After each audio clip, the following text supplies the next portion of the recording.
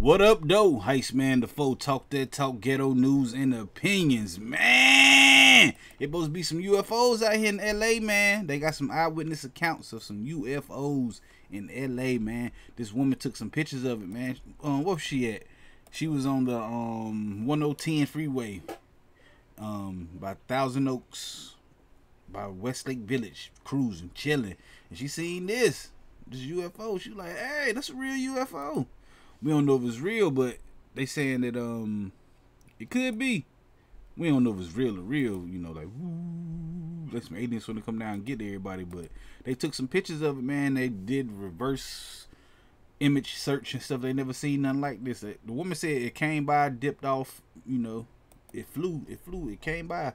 This the story right now that some UFOs is in LA. What they coming to LA for? What they wanting to do, man? They want to go see a movie premiere or something? I don't know.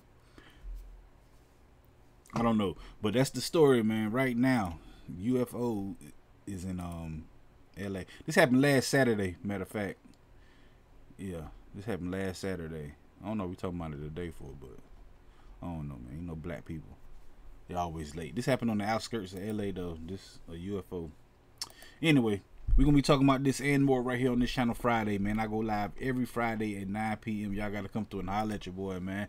I go live at 9 p.m. Hit the like button, the comment button, the share button, subscribe button, the notification bell.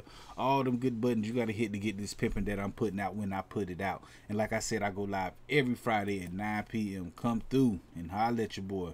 Heist Man the Foe. Talk that talk, ghetto news and opinions. I gotta see that UFO one more time. Can you imagine just seeing the UFO? I gotta. Oh man, I messed up the UFO sound. I'm out of here, man.